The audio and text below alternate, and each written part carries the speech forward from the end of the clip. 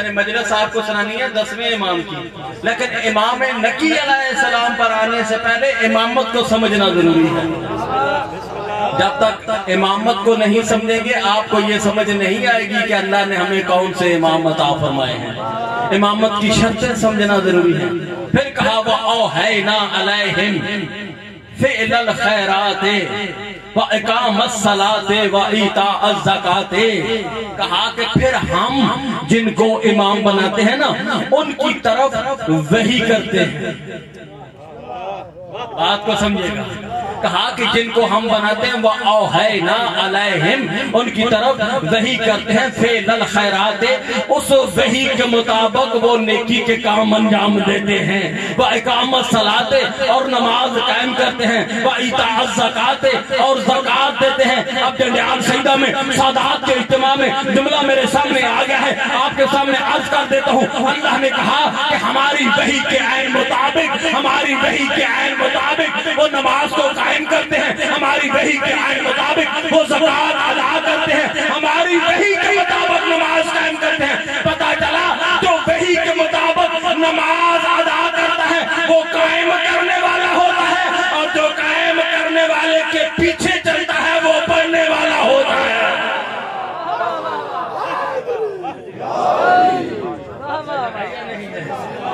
قائم کرنے والے اور ہیں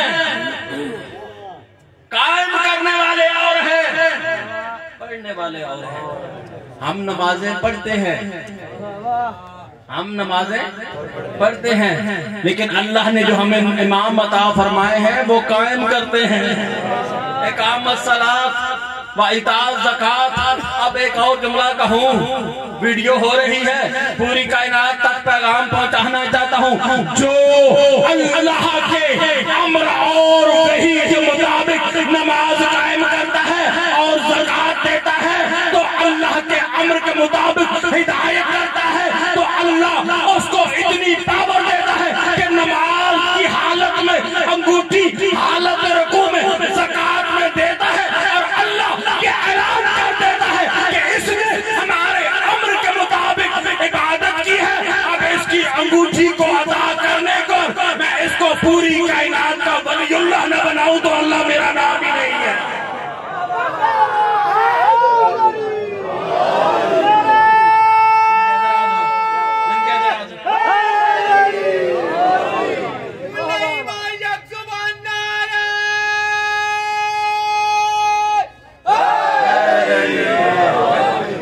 آپ کی بلا امر یہ ہے کہ جب اللہ ارادہ کرتا ہے فیقون وہ ہو جاتا ہے۔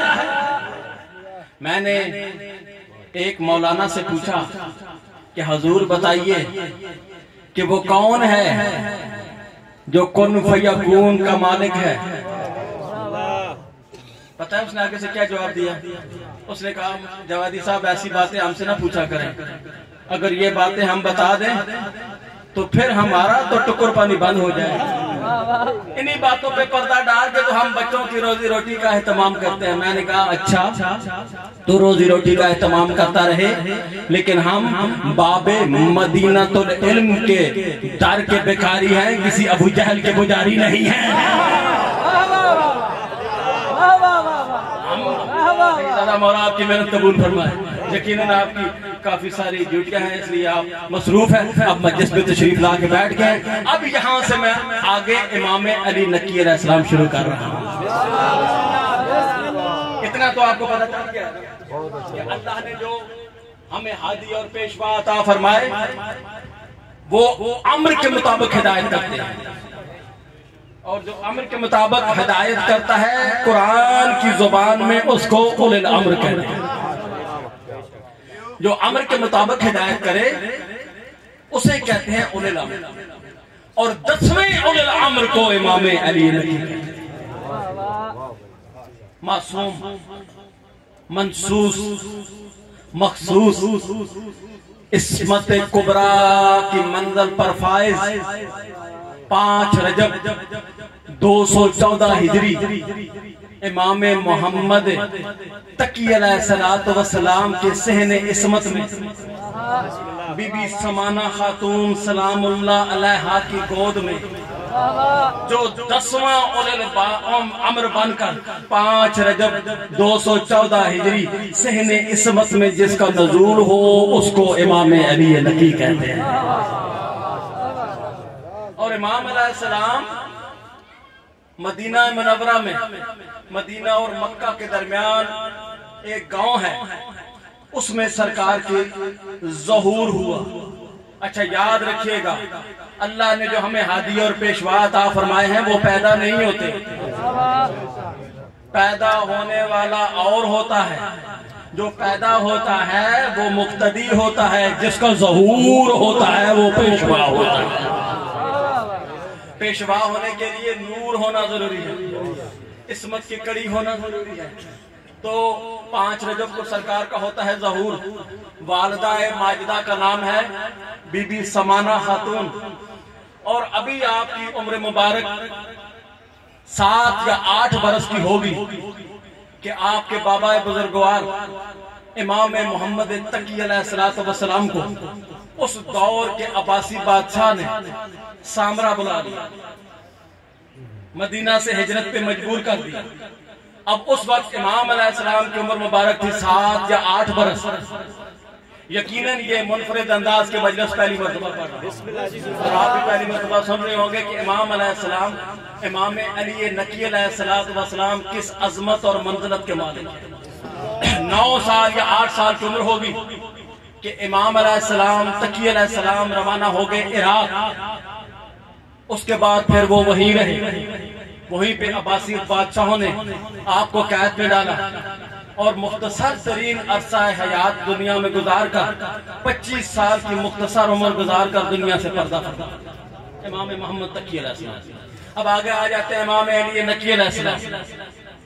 تو جب وہ وہاں سے چلے گئے، جتنے بھی تبرکات امامت تھے، جتنے بھی انبیاء کے بچے ہوئے تبرکات تھے، جو رسالت ماپ سے چلتے چلتے امام تقی علیہ السلام تک پہنچے تھے، وہ سارے تبرکات امام علی نقی علیہ السلام کی سپرد ہو گئے۔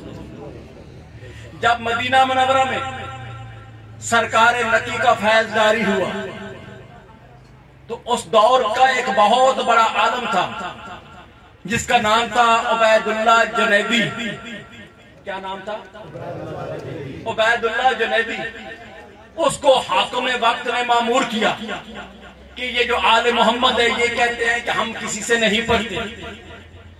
تمہاری یہ ڈیوٹی ہے کہ تم نے علی نقی کو تعلیم دینی یعنی کہ بطور ٹیچر۔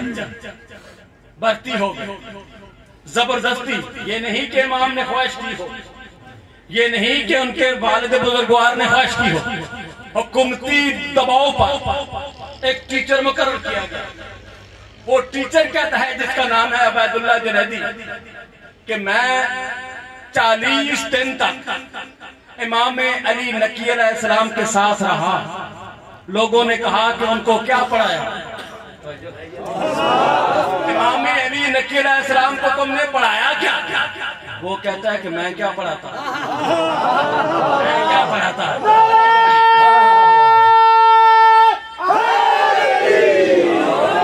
ارے میں ان کو کیا پڑھاتا؟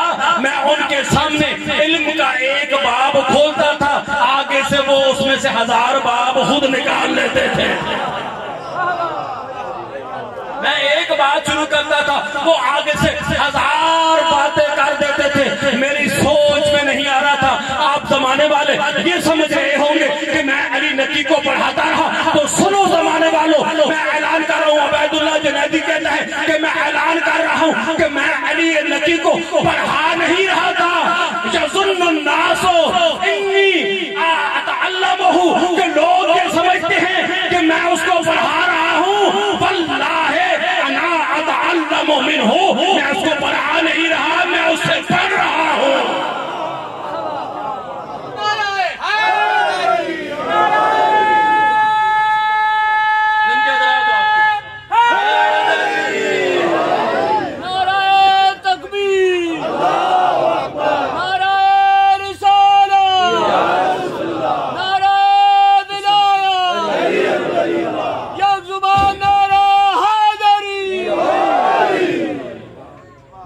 سمجھتے ہیں کہ میں پڑھا رہا ہوں حقیقت میں میں ان سے پڑھ رہا ہوں۔ مجھے تو علوم کی اب سمجھ آئی ہے کہ حقیقت میں علم کہتے کسے ایک اور میرے مولا کا صحابی ہے، جس کا نام ہے ابو ہاشم جعفری۔ کیا نام ہے؟ یہ نئے نئے نام ہیں جو آپ سن رہے ہیں، کیونکہ یہ بیان نہیں کیے گئے۔ ابو ہاشم جعفری بیان فرماتے ہیں کہ میں ایک مرتبہ مولا نکی کی بارگاہ میں حاضر ہوا تو میں نے جا کر دیکھا، ہندوستان سے ایک شخص گیا ہوا تھا، جس کے ساتھ امام نکی علیہ السلام ہندی زبان میں گفتگو فرما رہے تھے۔ بندہ ہے ہندوستان کا۔ کیا ہوا ہے وہ عرب میں؟ عرب کے ماحول میں وہ ابو ہاشم جعفری کہتا ہے کہ میں نے دیکھا کہ امام علی نقی علیہ السلام ہندی زبان میں گفتگو فرما رہے ہیں۔ میں حیران ہو گیا۔ میں نے پوچھا، مولا، آپ کو ہندی زبان بھی آتی ہے؟ مولا نے فرمایا، کیا میں صرف تم عرب والوں کا امام ہوں؟ صرف تمہارا عرب والوں کا امام ہوں۔ اس نے کہا، نہیں مولا، آپ تو پوری کائنات کے امام ہیں۔ تو مولا نے فرمایا، یہ کیسے ہو سکتا ہے کہ پوری کائنات کا امام ہو اور پوری کائنات کی زبانوں سے واقف نہ ہو؟ اب اسی لیے ہم کہتے ہیں کہ امام بارہ ہی ہے تیرواں امام ہو ہی نہیں سکتا۔ معصوم چودہ ہی ہیں، پندرواں معصوم ہو ہی نہیں سکتا۔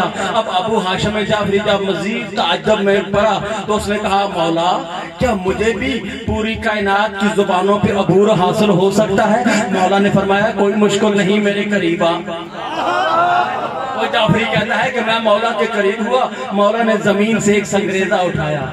سنگریزہ اٹھا کر اس کو اپنی زبان سے مس کیا، اپنا لعاب دان، اب جملہ کہے گا، خورشید جوادی سید زادہ مقام ہے جلیال سیدہ، میرے سامنے امام نکی علیہ السلام کے فضائل سننے کے خواہش مند مومنین بیٹھے ہوئے جملہ میں نے عرض کرنا ہے، دیکھوں گا کہ آپ اس فضائل کے جملے کو وصول کیسے کرتے ہیں۔ ابو حشم کہتا ہے کہ میں مولا کے قریب ہوا، مولا نے زمین سے سنگریزہ اٹھا کر اس کو اپنی زبان سے مس کیا، اپنا لعاب دان اس سے لگا کے کہا کہ کہ یہ سنگریزہ لو اور اس کو اپنی زبان پر رکھو۔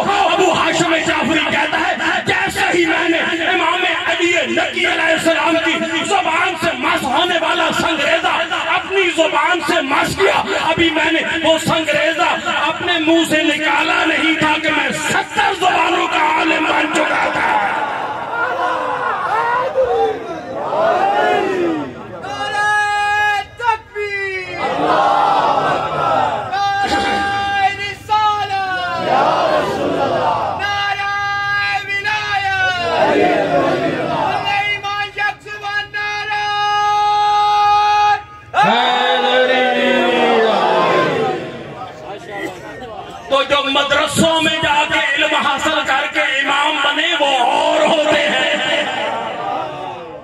جو خالق کی یونیورسٹی سے پڑھ کر آئے جو اللہ کی یونیورسٹی سے پڑھ کر آئے وہ اور ہوتے ہیں۔ اب پتہ ہے امام کی شرطیں کتنی ہیں۔ فقہ جعفریہ میں امام بننے کے لیے تیس شرطیں۔ تیس شرط تیس میں سے ایک شرط بھی کم ہو تو وہ امام نہیں ہو سکتا۔ ان میں سے کچھ شرطوں میں سے ایک شرط یہ بھی ہے۔ کہ امام کو پوری کائنات کے لوگوں سے افضل ہونا چاہیے۔ یہ نہ ہو کہ جن کا وہ امام بنا ہو، ان میں سے کوئی اٹھ کے اس سے ایسا سوال کرے کہ امام یہ نہ کہے کہ ٹھہریے، میں گھر سے پوچھ کے آتا ہوں۔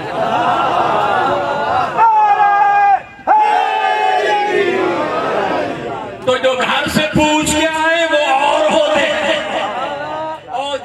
جو کا سوال کرنے سے پہلے اس کا سوال بھی بتا دے، اس کا جواب بھی بتا دے۔ وہ امام برحق ہوتے ہیں۔ اور دوسری شرط یہ ہے کہ امام کو معصوم ہونا چاہیے۔ تیسری شرط یہ ہے کہ انسان امام جو ہے، اپنے زمانے کے جتنے بھی لوگ ہیں، ان سب سے زیادہ بہادر ہونا چاہیے۔ بہادر ہونا چاہیے۔ جملہ کہہ رہا ہوں، بہادر ہونا چاہیے۔ بزدل امام نہیں ہو سکتا۔ تو جو ہے یا نہیں؟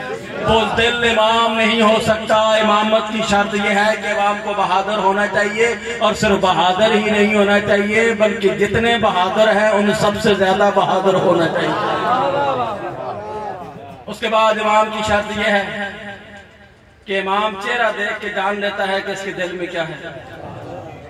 امام کی شرط یہ ہے کہ امام اپنے ماننے والوں کا مددگار ہوتا ہے۔ ماننے والوں کا محتاج نہیں ہوتا۔ جو چندے سے چلے وہ اور ہوتا ہے۔ جو چندے مانگ مانگ کے امام بنے وہ اور ہوتے ہیں اور جو پوری کائنات میں اللہ کا رزق تقسیم کریں وہ امام برحق ہوتے ہیں۔ اب اسی طرح کا خواب ہے۔ جو مولا کے زمانے میں مولا کے ایک صحابی نے دیکھا۔ اور یہ بھی امامت کی شرط ہے اس کو ذریت رسول میں سے ہونا چاہیے۔ نسل رسول میں سے ہونا چاہیے۔ رسول کے علم کا وارث ہونا چاہیے۔ رسول کے جتنے بھی علوم ہیں، ان کا وہ صحیح امین ہونا چاہیے۔ اب صرف وہ ظاہری طور پر نہیں، باطنی طور پر بھی ان علوم سے واقف ہونا چاہیے۔ مولا کے زمانے میں ایک شخص کہتا ہے کہ میں نے خواب میں رسول خدا کو دیکھا۔ رسول خدا مسجد میں تشریف فرما تھے تو میں قریب ہوا۔ مولا کے پاس ایک ٹوکری رکھی ہوئی تھی جس میں کھجوریں تھی اس طرح مولا نے اس ٹوکری میں ہاتھ ڈالا، رسول خدا نے اس طرح مٹھی بار کے کھجوروں کی مجھے دے دی۔ تو جب میں نے شمار کیا تو ان کی تعداد پچیس تھی۔ کتنی؟ پچیس کھجوریں خواب میں۔ رسول خدا نے ایک بندہ مومن کو عطا کر۔ وہ بندہ خوش ہو گیا کہ رسول خدا خواب میں آ کر مجھے کوئی بشارت دی ہے۔ وہ کہتا ہے، تھوڑا ہی عرصہ گزرا کہ میں مسجد نبی میں گیا۔ این اسی مقام پر امام علی نقی علیہ السلام تشریف فرماتے جو ہے یا نہیں این اسی مقام پر امام علی نقی علیہ السلام تشریف فرماتے اور مولا کے سامنے اسی طرح کھجوروں کا ٹوکرا رکھا ہوا تھا اس طرح مولا نے اس کھجوروں کے ٹوکرے میں ہاتھ ڈالا اور کہا کہ مجھے دے دی کہا کیا بندہ ہے مومن یہ رہ جاؤ اب جب اس نے شمار کیا تو ان کی تعداد بھی پچیس تھی۔ جب شمار کیا تو ان کی تعداد پچیس تھی۔ اب سنیے گا جملہ۔ امامت کے مقام کو سمجھے گا۔ امامت کے منصب کو سمجھے گا۔ جب اس نے پچیس کھجورے گن کے لی، اس نے کہا، مولا کچھ اور عطا فرمائیے۔ مولا کچھ اور عطا فرمائیے۔ تو مولا نقی فرماتے ہیں، اگر خواب میں میرے نانا نے کچھ اور عطا کی ہوتی تو میں بھی کچھ اور عطا کر دیتا۔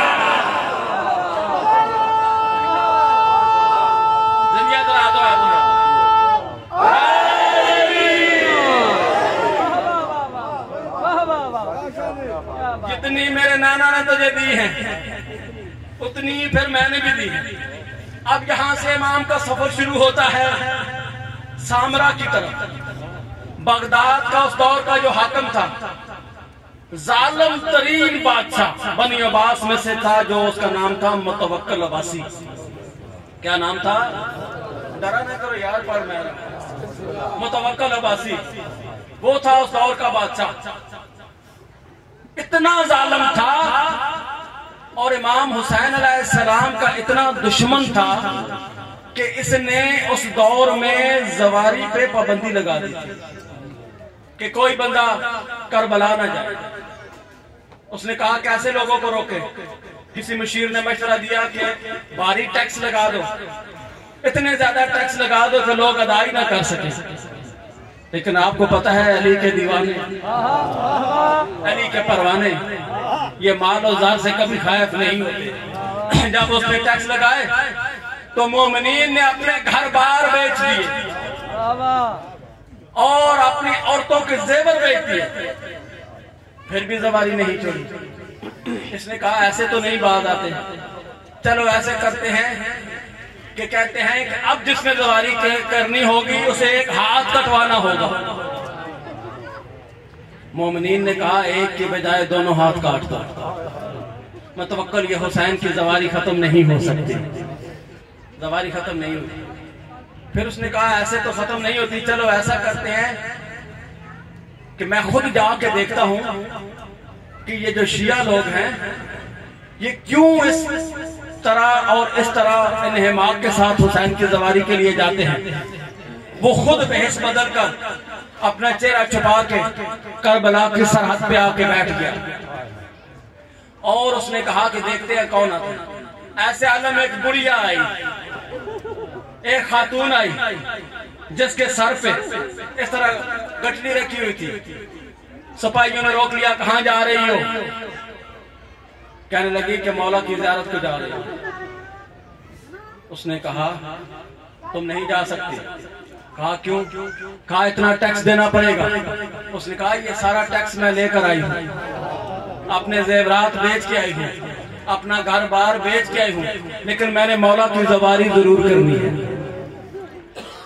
اب متوکل یہ منظر دیکھ رہا تھا۔ اس نے کہا کہ سورت کو میرے پاس بلاؤ۔ جب وہ عورت پاس آئی، اس نے اپنا چہرہ لپیٹا ہوا تھا۔ اس نے کہا، بھائی، تجھے کیا ملتا ہے؟ حسین کی زواری سے۔ وہ خاتون کہتے ہیں، مجھے دنیا بھی ملتی ہے، آخرت بھی ملتی ہے، رسالت بھی ملتی ہے، ولایت بھی ملتی ہے، شفاعت بھی ملتی ہے، توحید کا قرب بھی ملتا ہے۔ اس نے کہا کہ اگر تجھے میں نہ جانے دوں ٹیکس لے کے بھی نہ جانے دوں۔ آپ ملک صاحب جملہ اب آیا ہے۔ اگر ٹیکس لے کے بھی نہ جانے دوں وہ بی بی کہتی ہے، اگر ٹیکس لے کے نہیں جانے دے گا تو پھر تجھ پر اللہ کی لانت ہوگی۔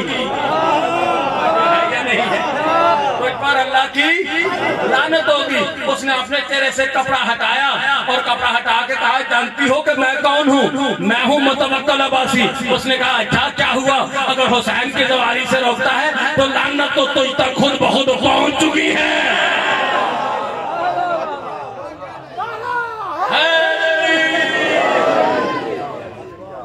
یہ ہے میرے مولا نقی علیہ السلام کا دور۔ اور امام علی نقی علیہ السلام بائیس سال کی عمر میں مدینہ سے عراق کی طرف ایسے آئے کہ اس کے بعد پھر واپس لوٹ کے مدینہ نہ جا سکے۔ اس کے بعد جتنی زندگی گزاری سامرا میں گزاری۔ اور سامرا میں جس مقام پر امام علی نقی علیہ السلام کو رکھا گیا۔ حضرت نظر میں کربلا۔ یہ سامرا نواسب کا شہر تھا۔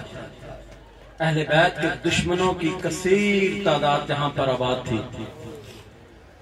اب آپ ظاہری پہ زواری پہ جائیں گے نا؟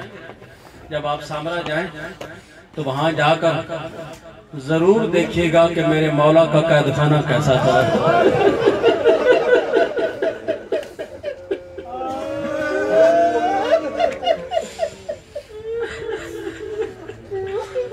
عزاداران مظلوم کربلا۔ امام سجاد کو بھی قید کیا گیا۔ اس قید خانے میں قید کیا گیا جس کا چھت نہیں تھا۔ امام موسیٰ قادم علیہ السلام کو بھی قید کیا گیا۔ اس قید خانے میں قید کیا گیا جس پر مولا کمر سیدھی کھڑے کار کے کھڑے نہیں ہو سکتے تھے۔ لیکن تھا وہ قید خانہ۔ اب اللہ جانے میں جملہ کہوں گا، نقوی سادات کیسے برداشت کریں گے؟ آپ کو آپ کی جد کا پرسہ پیش کرتا ہوں۔ عزدارو مولا سجاد کو قید خانے میں قید کیا گیا۔ مولا موسیٰ قاظم کو قید خانے میں قید کیا گیا۔ یہ واحد میرا مولا نکی ہے جس کو کنویں میں قید کیا۔ کنویں میں قید کیا گیا۔ آج بھی سامرے میں وہ کنواں موجود ہے۔ عزدارو آج بھی سامرے میں وہ کنواں موجود ہے۔ جانا جا کے زیارت کرنا بتیس سیڑھیاں ادھر کے نیچے جانا پڑتا ہے۔ جہاں عسکری کا بابا۔ عزداران مظلوم کربلا مسلسل کئی سال تک قید میں رہا۔ لیکن جب مارا مولا قید میں تھے ایک دن متوکل نے مولا کو بلایا اور اپنی سواری کے ساتھ پیدل چلنے کا حکم دیا۔ عزداران مظلوم کربلا، آگے آگے متوکل کی سواری جا رہی تھی۔ پیچھے پیچھے میرا مولا نکی برہنہ پاؤں چال رہے تھے۔ عزدارو جب مولا نکی گھر آئے، اتنے پریشان ہوئے کہ بیمار ہو گئے۔ کسی نے کہا، مولا، کتنی بڑی مصیبت آپ کو دیکھنا پڑی۔ مولا فرماتے ہیں یہ ساری زندگی بھی مجھے اپنے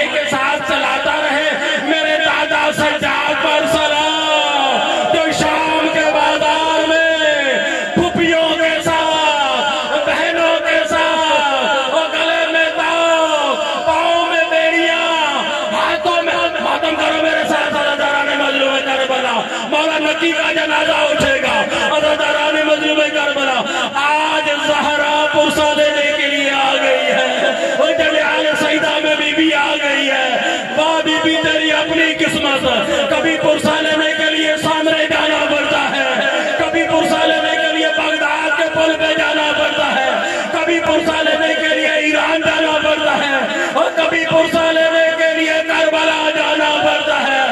زخمی پہلو پہ ہاتھ رکھ کے ہم مسلمانوں سے ایک سوال کرتی ہے اور مسلمانوں بتاؤ میری اولاد کا قصور کیا ہے؟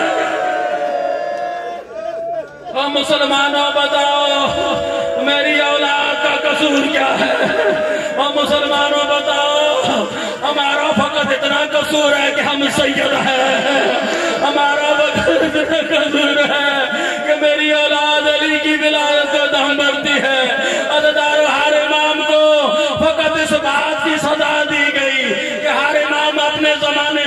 علی کی ولایت کی تبلیغ کرتے تھے۔ اس ولایت کو بچانے کے لیے امام نکی نے بھی زہر کا پیالہ پی لیا۔ کیسے بیان کروں؟ آپ کیسے سنو گے؟ ستائیس جمادی الثانی کو۔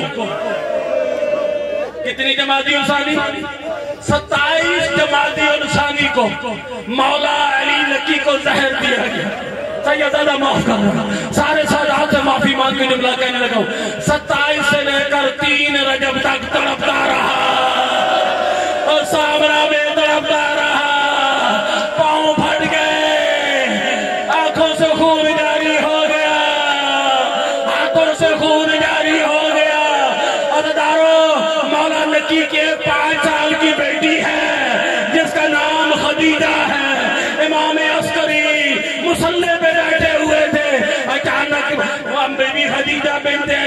پاس آ کے کہتی ہے بھیا مجھے بتائیے، میں سکینہ کی کیا لگتی ہوں? بھیا مجھے بتائیے، میں سکینہ کی کیا لگتی ہوں؟ کہا وہ میرے سردار حسین کی بیٹی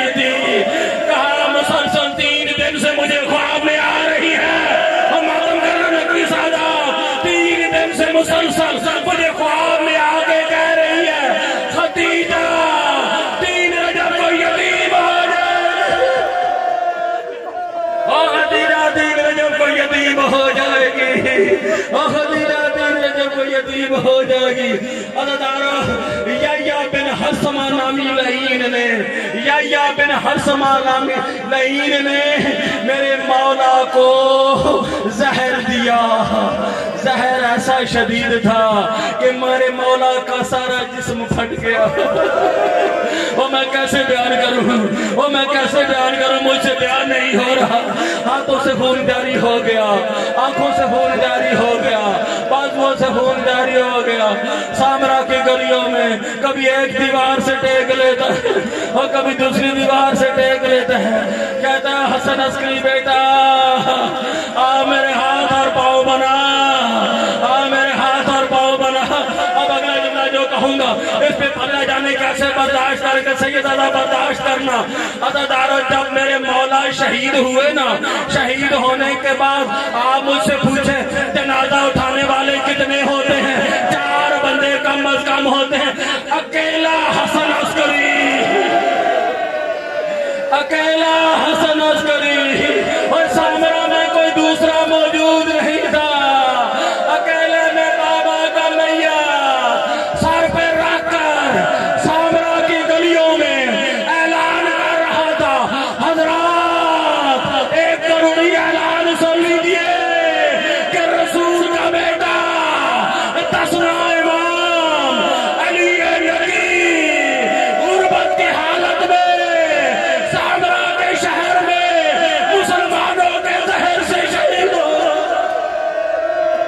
اللہ آپ کو سلامت رکھے، اللہ آپ کو سلامت رکھے۔ اور سوائے غم حسین کے۔ دنیا کا کوئی غم نہ دیکھو۔ سوائے غم حسین کے۔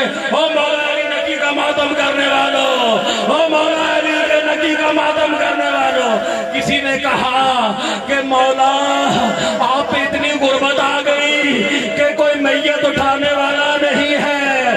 تو سوال صاحب آخری جملہ کہنے لگا ہوں، ماتم کر رہا ہے اس کے بعد۔ مولا حسن عسکری فرماتے ہیں میں نے اکیلے